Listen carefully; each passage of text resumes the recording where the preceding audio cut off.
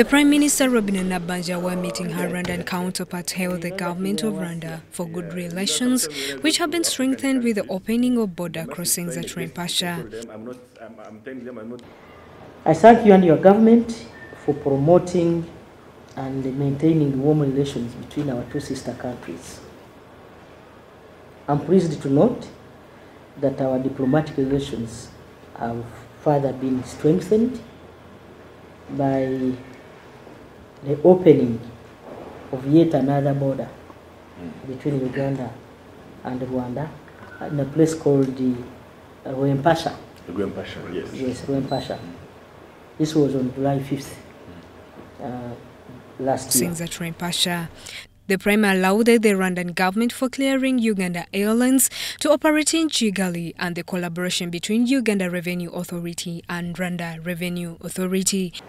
I'm also happy to note that the trade between our two sister countries is recovering following the reopening of our main Uganda-Rwanda border at Katuna in 2022.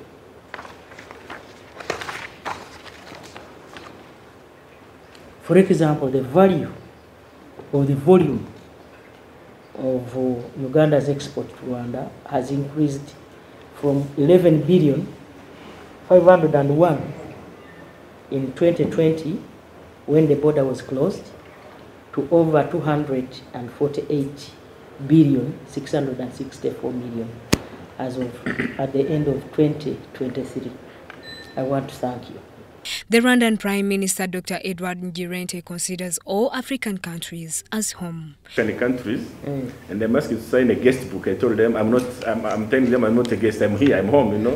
Why should I sign a guest book here in Kampala? yes The Rwandan delegation included the State Minister for Regional Cooperation, General James Kabarebe, Rwanda's ambassador to Uganda, Justin Nakami, UBC News.